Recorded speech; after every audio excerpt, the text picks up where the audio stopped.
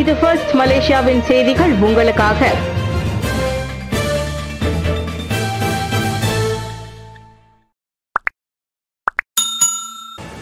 துணிச்சல் இருந்தால் தேர்தலை நடத்துவீர் அன்பாருக்கு மகாதீர் சவால்.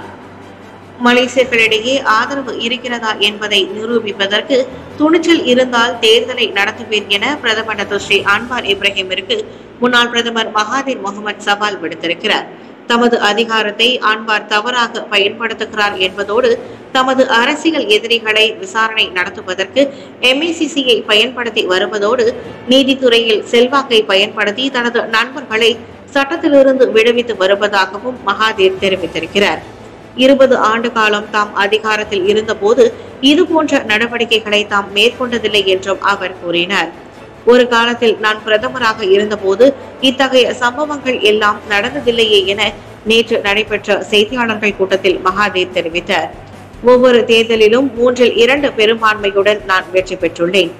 ஐந்து தேர்தல்களில் மூன்றில் இரண்டு பெரும்பான்மையுடன் வெற்றி பெற்றுள்ளேன். என்னை வெளியேற்றுவதற்கு மக்களுக்கு வாய்ப்பு இருந்தது. எனது பதவியை தவறாக பயன்படுத்தி இருந்ததால் அந்த தேர்தலில் நான் வெற்றி பெற்றிருக்க மாட்டேன். மக்கள் என்ன நினைக்கிறார்கள் என்பதை தெரிந்து கொள்வதற்கு இன்றே தேர்தல் நடத்தும்படி அன்வாருக்கு சவால் விடுப்பதாகவும் மகாதீர் தெரிவித்தார். பூமி புத்திராக்களுக்கான திட்டங்களை ஜிஎல்சி நிறுவனங்கள் ஆதரிக்க வேண்டும்.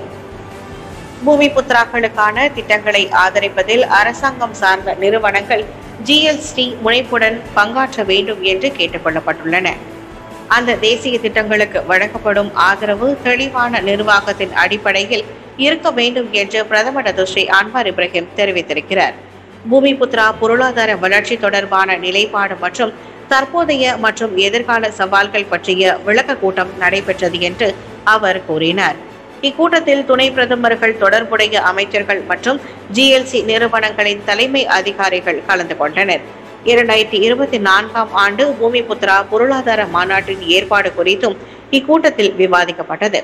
இக்கூட்டத்தில் நன்மை அளிக்கக்கூடிய பல திட்டங்களும் ஆலோசனைகளும் முன்வைக்கப்பட்டதாக அன்வார் கூறினார். தைப்பூசத்தை முன்னிட்டு பத்துமலை சுற்றுவட்டார பகுதியில் ஏழு சாலைகள் மூடப்படும். தைப்பூசத்தை முன்னிட்டு நேற்று இரவு பத்து மணி தொடங்கி சனிக்கிழமை வரையில் பத்துமலை சுற்று வட்டார பகுதியில் ஏழு சாலைகள் மூடப்படும். பத்துமலை திருத்தலத்திற்கு இருபது லட்சம் பேர் வருகை புரிவார்கள் என்று எதிர்பார்க்கப்படும் நிலையில் நெரிசலை தவிர்ப்பதற்கு சாலைகள் மூடப்படுவதாக ஸ்லாங்கூர் போலீஸ் தலைவர் டாக்டர் ஹுசைன் உமர் கான் தெரிவித்தார். ஜாலான் பூங்காராயாவில் இருந்து ஜாலான் பத்து கேவ்ஸ் நோக்கி செல்லும் சாலை ஜாலான் ஸ்டேஷன் சமிக்னி விளக்கும் கொம்பாக்கில் இருந்து பத்துமலை திருத்தலத்தை நோக்கி செல்லும் எம்ஆர்ஆர் இரண்டு சாலை பத்துமலை பழைய சாலை ஆகியவை மூடப்படும். இக்காலகட்டத்தில் சுமார் ஆயிரத்தி எட்நூறு போலீஸ் அதிகாரிகள் பணியில் ஈடுபடுவார்கள் என்று ஹுசைன் தெரிவித்தார்.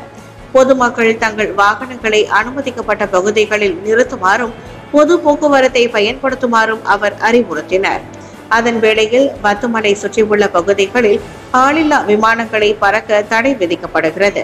நேற்று பத்துமலையில் நடைபெற்ற தைப்பூசத்தை முன்னிட்டு நடைபெறும் ஓப்ஸ் பாலு செய்தியாளர்கள் சந்திப்பில் ஹுசைன் இத்தகவல்களை பகிர்ந்து கொண்டார்.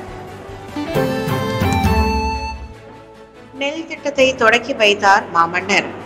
செகண்ட் சானில் மேற்கொள்ளப்பட்ட ஸ்மார்ட் எஸ்பிபி எனப்படும் பெரிய அளவிலான நெல் வயல் திட்டத்தை போன்று பஹாங் பெகாங் பெர்மகாங் துரியான் பகுதியில் பெரிய அளவிலான நெல் திட்டத்தை மாற்றிமை தங்கிய மாமன்னர் அல் சுல்தான் அப்துல்லா ரியாதுடன் அல் முஸ்தபா பில்லாஷா நேற்று தொடக்கி வைத்தார். காம்போங் மெர்சோங்கில் நடைபெற்ற இவ்விழாவில் மாநில இடைக்கால ராஜா பட்டத்து இளவரசர் தெங்கு ஹசனால் இப்ராஹிம் அலாம் ஷா மற்றும் அவரது சகோதரர் தெங்கு அரிஃப் பென்டஹாரா தெங்கு முகமது இஸ்கந்தார் ரியாதுடன் ஷா மற்றும் Tengku Panglima Perang Tengku Ahmad Ismail Muadzam Shah ஆகியோர் கலந்து கொண்டனர். மேலும் விவசாயம் மற்றும் உணவு உத்தரவாத அமைச்சர் doctor Mohamad Sabu Pahang Menteri Besar doctor Sri Wan Ismail ஆகியோரும் கலந்து கொண்டனர். நெல் நடவு முறை இயந்திரங்களை ஓட்டுவது உட்பட கண்காட்சியையும் மாமன்னர் பார்வையிட்டார். அறிவு அணுகுமுறை மற்றும் பயிற்சி மூலம் அதிக பயன் தரும் விவசாய நடைமுறைகளை பயன்படுத்துவதற்கான ஒரு புதிய மாதிரியான செகண்ட் ஜான் ஸ்மார்ட் எஸ்பிபி போன்ற மாதிரி திட்டம் கடந்த இரண்டாயிரத்தி இருபத்தி மூன்றாம் ஆண்டு மே மாதம் தொடங்கப்பட்டது. தான் ஸ்ரீ தேவகி கிருஷ்ணன் மறைவுக்கு பேரரசர் தம்பதியர் அனுதாபம். தான் ஸ்ரீ தேவகி கிருஷ்ணன் காலமானதை தொடர்ந்து அவரது குடும்பத்திற்கு மாட்சிமை தங்கிய பேரரசர் அல் சுல்தான் அப்துல்லா பேரரசியார் துங்கு ஹாஜா அசீசா அமினா ஆகியோர் தங்களின் ஆழ்ந்த அனுதாபத்தை தெரிவித்துக் கொண்டனர். மலேசியாவில் அரசு பொது சேவைக்கு தேர்ந்தெடுக்கப்பட்ட முதல் பெண்மணியான தேவகி கிருஷ்ணன் கடந்த சனிக்கிழமை தமது இல்லத்தில் காலமானார். மலேசிய அரசு சேவைக்கு அவரது மறைவு பெரிய இழப்பு என்பதோடு நாடு மற்றும் சமூகத்திற்கு அவர் ஆற்றிய அளப்பரிய பங்கு என்றும் மறக்க முடியாத ஒன்று என பேரரசர் தம்பதியர் வர்ணித்தார். மலேசிய இந்திய பெண்களின் தேர்தலில் போட்டியிட்டு வெற்றி பெற்ற முதலாவது பெண்மணி என்ற வரலாறு படைத்த தேவகி கிருஷ்ணன் ஆயிரத்தி தொள்ளாயிரத்தி ஐம்பத்தி இரண்டாம் ஆண்டு முதல் முறையாக நடைபெற்ற கோலாலம்பூர் ஊராட்சி மன்ற தேர்தலில் போட்டியிட்டு வெற்றி பெற்றதோடு ஆயிரத்தி தொள்ளாயிரத்தி ஐம்பத்தி ஐந்தாம் ஆண்டு கோலாலம்பூர் பங்சார் நகராட்சி மன்ற தேர்தலிலும் போட்டியிட்டு வெற்றி பெற்றார். பினாங்கில் வட்டி முதலையை போல அடாவடியாக வீட்டிற்கு எரியூட்டிய ஆடவனுக்கு ஐம்பத்தி நான்கு மாத சிறை.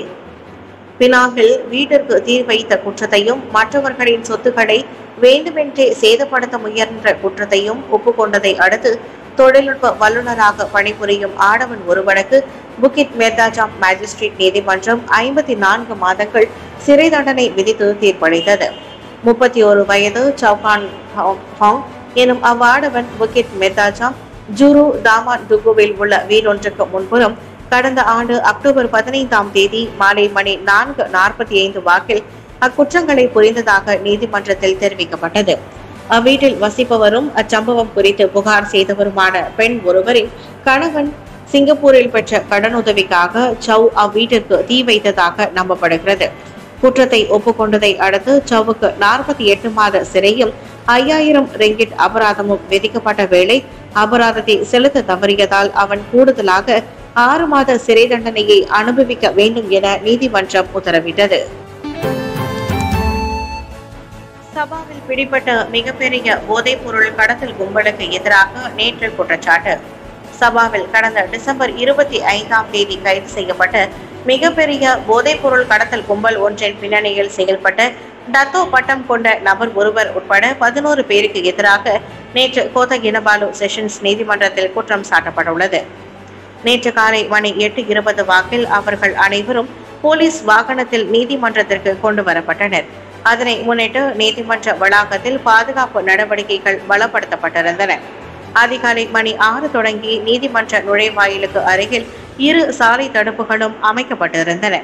கைது செய்யப்பட்ட அனைத்து பதினோரு பேருக்கும் எதிராக சுஷ்மா சிறப்பு பாதுகாப்பு சட்டம் மற்றும் அம்லா பயங்கரவாத நடவடிக்கைகளுக்கு நிதி ஆதரவு அளித்தது.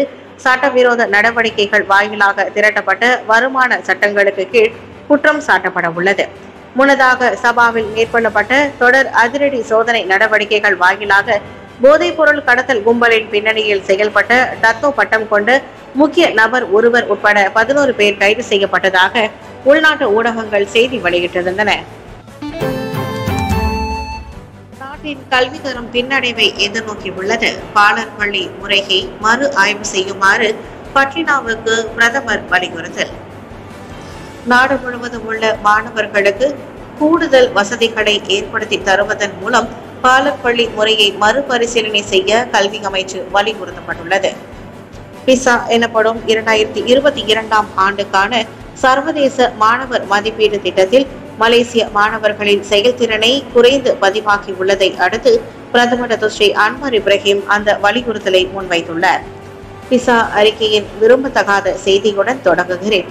ஆனால் அது இலக்கவியல் உள்கட்டமைப்பு பள்ளி பாடத்திட்டம் மற்றும் பாலர் பள்ளி உட்பட பல்வேறு விவகாரங்களுடன் தொடர்புடையது என்பதை பிரதமர் சுட்டிக்காட்டினார். அந்த அனைத்து விவகாரங்களிலும் நாம் சற்று பின்தங்கியுள்ளோம். அதனால்தான் பாலர்பள்ளி முறையை மறு ஆய்வு செய்யுமாறு பட்லினாவை தாம் பணித்துள்ளதாக அன்வார் சொன்னார். தேசிய கல்வி தரத்தை மேம்படுத்தும் முயற்சிகள் குறுகிய காலத்தில் செயல்படுத்தப்பட வேண்டும். அதனால் இவ்வாண்டு நாட்டில் உள்ள அனைத்து மாணவர்களுக்கும் சரிசமமான பாலர் பள்ளி கல்வி வாய்ப்புகள் கிடைப்பதை உறுதி செய்ய தேவையான கூடுதல் உதவிகள் வழங்கப்பட வேண்டும் என தாம் பணித்துள்ளதாக பிரதமர் சொன்னார். மேலவை தலைவர் பதவி காலியானதை பிரதமர் அன்வார் உறுதிப்படுத்தினார். மேலவை தலைவர் பதவி காலியானதை பிரதமர் ரத்துஸ்ரீ அன்வார் இப்ராஹிம் உறுதிப்படுத்தியிருக்கிறார். சரவா ஆளுநர் பதவியை ஏற்பதற்காக மேலவை தலைவர் பதவியில் இருந்து வான்ஜுனேடி வாங்கு ஜாஃபர் விலகிவிட்டதாக பல்வேறு ஊடகங்கள் செய்தி வெளியிட்டன. தேவான் நெகேரா அல்லது மேலவையின் புதிய தலைவரை நியமனம் செய்வதற்காக ஒற்றுமை அரசாங்கத்தின் செயலகம் நேற்றிரவு கூடியிருந்ததாக அன்வார் நேற்று மலாயா பல்கலைக்கழகத்தில் தெரிவித்தார். அதோடு சரவாவின் புதிய கவர்னர் இருநூறு நாளில் அறிவிக்கப்படுவார் என்றும் அவர் கூறினார். முப்பத்தி மூன்று ஆண்டுகளுக்கு பிறகு சரவா முதலமைச்சர் பதவியில் இருந்து இரண்டாயிரத்தி பதினான்காம் ஆண்டு விலகியது முதல் சரவா ஆளுநராக அப்துல் தாயிப் மஹமூத் இருந்து வருகிறார். சட்டத்துறையின் முன்னாள் அமைச்சருமான வான் ஜுனைடி கடந்த ஜூன் மாதம் ரைஸ் யாதேவிற்கு பதில் மேலவை தலைவராக நியமிக்கப்பட்டார். இப்போ கல்லுமலை ஸ்ரீ சுப்பிரமணியர் ஆலயத்தில் தைப்பூசத்தில் டத்தோஸ்ரீ அன்வார் ஆதரவுடன் பத்தாயிரம் பக்தர்களுக்கு அன்னதானம்.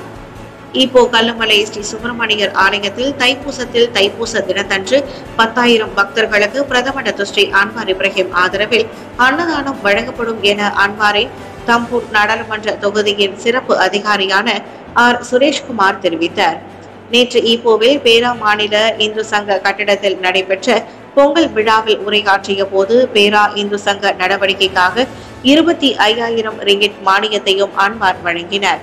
நேற்று ஈப்போவில் உள்ள பேரா மாநில இந்து சங்க கட்டிடத்தில் நடைபெற்ற பொங்கல் விழா நிகழ்வில் கலந்து கொண்ட சுரேஷ்குமார் இருபத்தி ஐந்தாயிரம் ரிங்கிட்டிற்கான காசோலையை பேரா மாநில இந்து சங்கத்தின் தலைவர் பே. சுந்தரசேகரனிடம் வழங்கினார்.